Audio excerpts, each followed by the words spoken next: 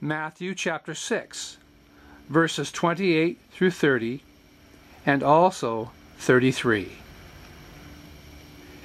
And why are you anxious about clothing? Observe how the lilies of the field grow. They do not toil, nor do they spin. Yet I say to you that even Solomon in all his glory did not clothe himself like one of these.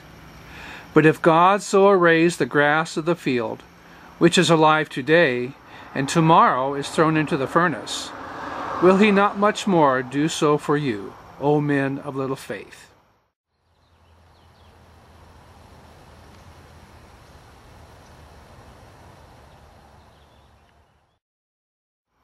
But seek first his kingdom and his righteousness, and all these things shall be added to you.